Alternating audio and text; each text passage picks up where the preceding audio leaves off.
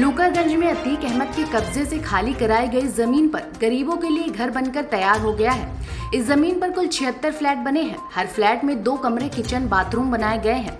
Flat की finishing का काम चल रहा है। सभी फ्लैट को भगवा रंग से रंगा गया है।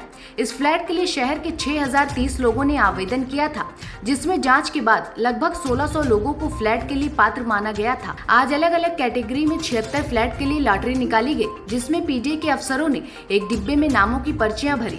फिर एक को बुलाकर पर्चियाँ निकलवाई गई। ये प्रक्रिया लगभग छिहत्तर फ्लैट के लिए की गई। प्रयागराज में माफिया से हम लोगों ने ज़मीन खाली कराई थी और प्रयागराज विकास प्राधिकरण ने रिकॉर्ड टाइम में इसको पूरा किया, पूरी गुणवत्ता के साथ के साथ। और जो एक इसमें एक प्रक्रिया होती है कि जो भी आवेदक हैं, उनकी पात्रता की जाँच करके लॉटरी के माध्यम से इसको हम लोग आवंटन करते हैं। तो आज यहाँ लॉटरी हुई है और जो हमारे 76 फ्लैट्स हैं उन उन लोगों को यहाँ चयनित कर लिया गया है और काफ़ी संख्या में जो व्यक्ति हैं, पंद्रह व्यक्ति जो पात्र थे, सारे व्यक्तियों ने पार्टिसिपेट किया है और प्रक्रिया से लोग काफ़ी खुश हैं और उनके सामने सारी प्रक्रिया हुई है। तो अब देखा जाए एक तरह से तो जो व्यक्ति हैं जिसको आवाज़ मिलना है, उसको यहाँ पे आज लॉटरी के मदद से मिल जाएगा और आगे की जो प्रक्रिया है, कब्जा देने की, वो नियमानुसार की जाएगी। लूकरगंज सत्रह वर्ग मीटर से ज़्यादा की ये ज़मीन नाजुल की थी, जिसे अतीक अहमद ने लिया था और समय अवधि खत्म होने के बाद भी अपना कब्जा जमाया हुआ था। चुनाव में ज़मीन पर प्रचार सामग्री रखा जाता था। प्रदेश में जब निज़ाम बदला तो इस ज़मीन को वापस सरकार ने अपने अधीन लेकर गरीबों के लिए पीएम आवास योजना शुरू की।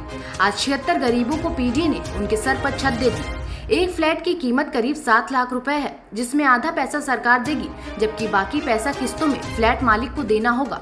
इस आवासीय योजना के माध्यम से योगी सरकार ने साफ़ संदेश दिया कि माफियाओं से छुड़ाई गई जमीनों पर आगे भी गरीबों के लिए आशियाना बनेगा। बहुत ज़्यादा ज़रूरत है क्योंकि अभी आज तक हम लोग किराए के मकान में ही रहते आए हैं जिससे किसी भी तरह से रहे हैं।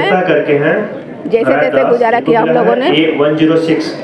अब ये है कि बुढ़ापे में हम लोग को मकान मिल गया अभी तो उधर भटकना नहीं पड़ेगा।